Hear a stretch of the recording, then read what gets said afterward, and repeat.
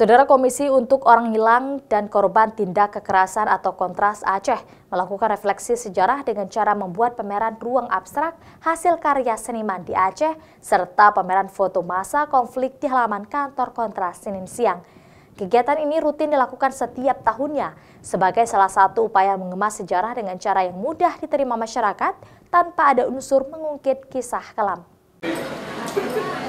Kontras bekerja sama dengan sejumlah seniman di Aceh menggelar pameran ruang abstrak dengan tema Kauri Nujuh atau Kenduri Tujuh, mengenang masa konflik belasan tahun silam yang terjadi di Aceh. Ada sejumlah ruang abstrak yang dipamerkan untuk dilihat oleh pengunjung yang diberi nama Lorong Ingatan, yaitu ruang mural dengan tragedi jembatan Arakundo, ilustrasi kejadian di rumah gedung DPD, serta sejumlah artistik lainnya menurut saya sangat bagus karena kita bukan untuk mungkin masa lalu tapi ini untuk menjadi pelajaran kita ke depannya.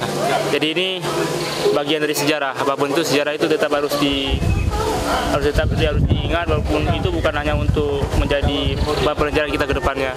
Selain itu ada juga pameran foto bertemakan kondisi saat konflik yang dipajang. Karya Hotli Simanjuntak dan Kontras Aceh. Sesuai dengan temanya, ada tujuh ruang yang menggambarkan perjalanan panjang sejarah konflik Aceh.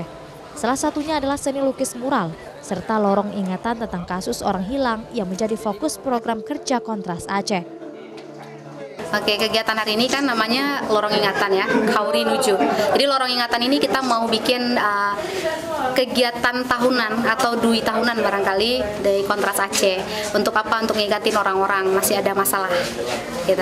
Dalam dokumentasi Kontras Aceh selama ini ada 204 korban penghilangan paksa di Aceh. 198 di antaranya telah diverifikasi dan diserahkan ke Komnas HAM Pusat. Pameran ini juga bentuk edukasi sejarah kepada generasi muda yang lahir setelah Aceh damai. Pengemasan pamerannya juga lebih kekinian tanpa ada unsur sadisme, sehingga pesan yang ingin disampaikan dapat diterima di masyarakat. Nova Misdayanti, Kompas TV, Tanda Aceh.